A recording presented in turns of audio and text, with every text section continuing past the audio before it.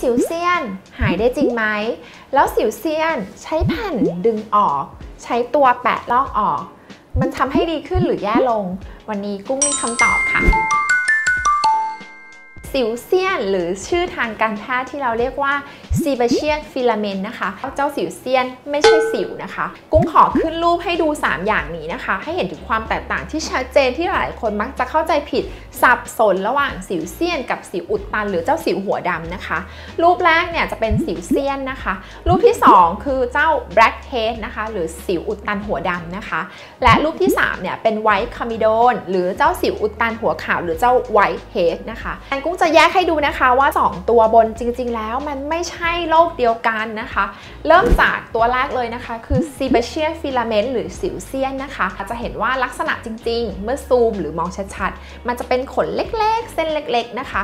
ขึ้นอยู่บริเวณ จมูกและคางเท่านั้นนะคะ และมันมักจะคำแล้วเรียบไปเลยไม่เป็นตุ่มนูนขึ้นมานะคะ และมักจะมีสีเทาอ่อนๆ ถึงเทาเข้มขึ้นอยู่กับสภาพขนของแต่ละคนค่ะ ส่วนเจ้า blackhead นะคะ หรือเจ้าตัวสิวอุดตันหัวดำเนี่ย มันมักจะเป็นสิ่งสกปรกที่ไปอุดอยู่ในรูขุมขนนะคะลักษณะของมันคือ 1 มันจะเป็นสีดำเข้มนะคะ 2 คือมันมักจะเป็นตุ่มนูน ถ้าคำแล้วจะรู้สึกสะดุดบนผิวนะคะ และ 3 เนื่องจากมันมัก จะเกิดในบริเวณไหนก็ได้ที่มีความมันหรือมีต่อมไขมันนะคะ ฉะนั้นมันจะแตกต่างจากเจ้าตัวสิวเซียนเนาะคือมันจะเกิดได้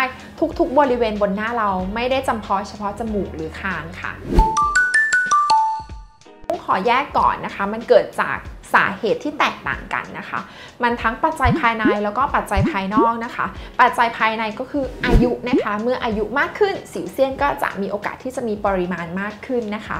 ข้อที่ 2 ก็คือเป็นกรรมพันธุ์นะคะ พื้นผิวที่ผลิตไขมันหรือพื้นผิวที่แม่ให้มานะคะ มักจะเป็นเหมือนเหมือนกันในครอบครัวนะคะ และข้อสุดท้ายเลยก็คือ ถ้าเราโดนแสงแดดหรือ sun expose เยอะๆ ก็จะมีโอกาสที่ทำให้สิวเซียนเป็นเยอะขึ้นแล้วก็เห็นเด่นชัดขึ้นค่ะ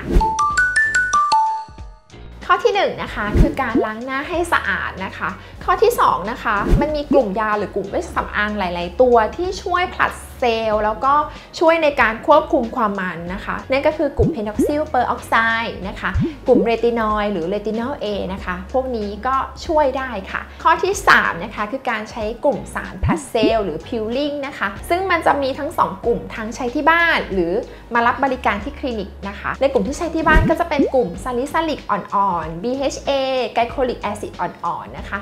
0.5%ถึง 2%กลุ่มนี้เราสามารถใช้ที่บ้านหรือ home use ได้ แต่ถ้ามากกว่านั้นกุ้งแนะนำให้พบแพทย์แล้วก็อยู่ภายใต้การดูแลของแพทย์นะคะ ข้อที่ 4 แสงแดดกระตุ้นให้เจ้า pore หรือเจ้ารูขุมขนใหญ่ขึ้นนะคะ และสิวเสี้ยนหรือสิวอุดตันมีโอกาสเกิดมากขึ้น ฉะนั้นเราก็ทากันแดดอย่างสม่ำเสมอหลีกเลี่ยงการเจอแสงแดดหรือโดนแสงแดดแรงๆ กลุ่มนี้ก็จะช่วยได้ค่ะข้อที่ 5 ค่ะ เราจะจำเป็นที่จะต้องใช้มอยเจอไรเซอร์นะคะ ไม่ใช่ว่าหน้ามันแล้วไม่ต้องใช้ หน้ามันหรือหน้าแห้ง มอยเจอไรเซอร์ก็เป็น basic ที่ดีที่ควรใช้ค่ะ และข้อสุดท้ายนะคะ กลุ่มเลเซอร์ก็จะช่วยได้อย่างที่หมอบอกมันไม่ใช่โรคของสิวเนาะแต่มันเป็นเรื่องของขนนะคะเลเซอร์ที่จะช่วยก็จะเป็นกลุ่มเลเซอร์ที่ใช้ในการกำจัดขนนะคะ หรือ tightening รูขุมขนไม่ว่าจะเป็นเลเซอร์ที่เป็นแสงหรือเป็นเจ้าตัว Light IPL นะคะ หรือจะเป็นกลุ่มแยกกลุ่มนี้ก็จะช่วยได้ค่ะ การที่เรากดบีบเค้น หรือการที่เราใช้แผ่นแปะล่องบ่อยๆเนี่ยมันคือการทำให้เกิดบาดเจ็บในรูขุมขนนะคะเมื่อเกิดการบาดเจ็บบ่อยๆ มันจะเกิดเป็นสกาหรือเป็นแผลในรูขุมขน เมื่อเป็นแผลเนี่ยมันทำให้รูขุมขนเราค่อยๆ กว้างออก แล้วเมื่อมันกว้างออกมันก็จะมีโอกาสเกิดอุดตันเกิดพลาเกิดสิ่งสกปรกในนั้นมากขึ้นฉะนั้นจริง ๆ มันไม่ได้ทำให้ดีขึ้นมันอาจทำให้เราแย่ลงซะด้วยซ้ำนะคะ แล้วถ้ามันเป็นเยอะๆนะคะ กุ้งแนะนำว่าการทำเลเซอร์นั่นคือโมดูลที่ดี หรือการไได้รับการเอาออกโดยแพทย์หรือผู้มีความชำนาญน่าจะดีกว่าค่ะ ฟังมาจบทั้งหมดแล้วนะคะ น่าจะแยกออกแล้วว่านี่คือสิวเซียน นี่คือสิวอุดตันนะคะ แล้วก็รู้จักวิธีการดูแลที่ถูกต้องนะคะ แล้วสิวเซียนก็จะเป็นปัญหาที่ไม่กวนใจเราอีกต่อไปค่ะ